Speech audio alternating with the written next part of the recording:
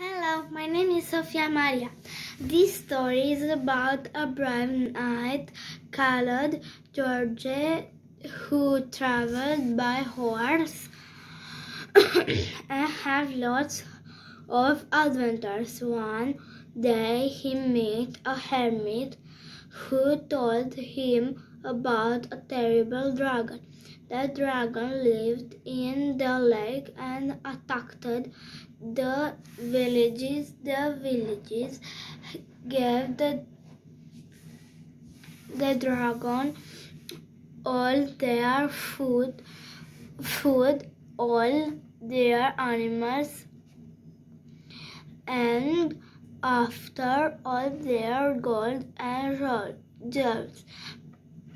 But the dragon continued to attack the villages. The army of the king failed to capture the dragon and with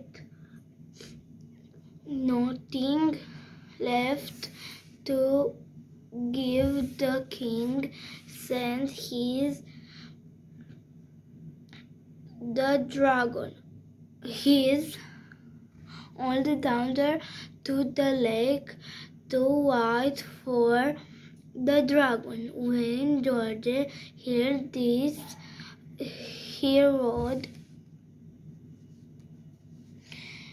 to the lake and attacked the dragon. He fought bravely and killed the dragon. George and the princess returned to the village and they have no more problems with the dragon.